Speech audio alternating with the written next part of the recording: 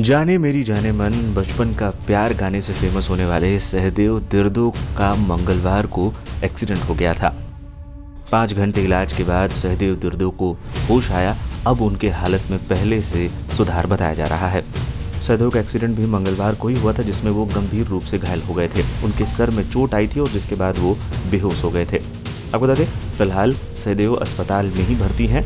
हालाँकि उनकी हालत अब पहले से ठीक बताई जा रही है। सहदेव दिर्दो की एक्सीडेंट की खबर जैसे ही मीडिया और सोशल मीडिया पर छाई, लोग उनके जल्द से जल्द ठीक होने की दुआएँ करने लगे और ढेर सारे पोस्ट भी किए गए।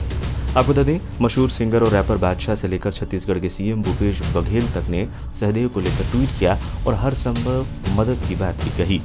मीडिया रिपोर्ट्स के मुताबिक सहदेव की हालत अब पहले से बेहतर है। मंगलवार रात करीब 10 बजे उसे होश आया। बताया जा रहा है कि अब स्थिति पहले से बेहतर है। हालाँकि सहदेव को पूरी तरीके से ठीक होने में थोड़ा समय ज़रूर लगेगा, लेकिन वो अब खतरे से बाहर हैं। सिंगर और रैपर बादशाह ने सहदेव के लिए ट्वीट किया सहदेव के परिवार और दोस्तों के संपर्क में हूँ, वो बेहोश है, अस्पताल ले जा रहे हैं, मैं उसके लिए वहाँ हूँ, आपकी दुआओं की ज़रूरत है। बता दें, कुछ वक्त पहले सोशल मीडिया पर एक वीडियो काफ़ी तेज़ी से वायरल हुआ था, वीडियो में नन्हा बच्चा स्कूल यूनिफॉर्म पहनकर टीचर्स के सामने बचपन का प्यार भूल नहीं जाना रे गाता हुआ नज़र आ रहा था।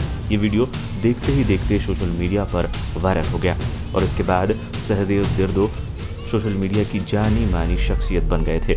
आपको बता दें, सहदेव छत्तीसगढ़ के सुकमा के छिनकर ब्लॉक में रहता है। इस वीडियो के वायरल होने के बाद बादशाह सहदेव से मिले और इसी गाने पर फिर से एक गाना और भी बनाया था।